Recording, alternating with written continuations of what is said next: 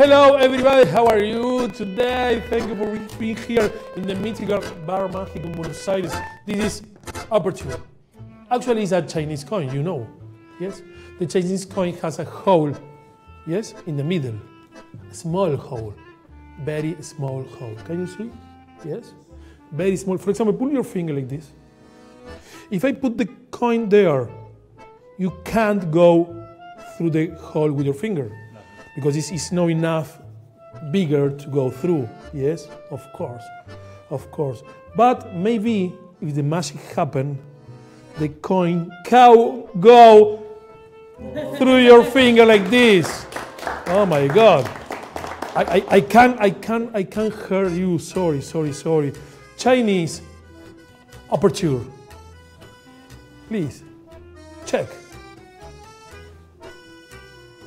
Thank you. Thank you very much.